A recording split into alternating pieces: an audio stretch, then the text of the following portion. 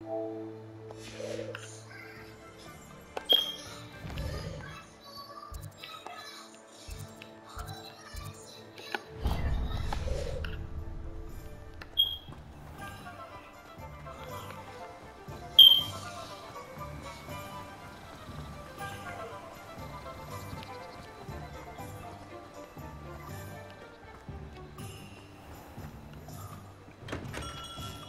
We have everything a young student might need when it comes to potions.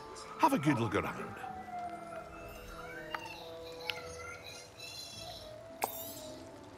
A wise decision. Thank you.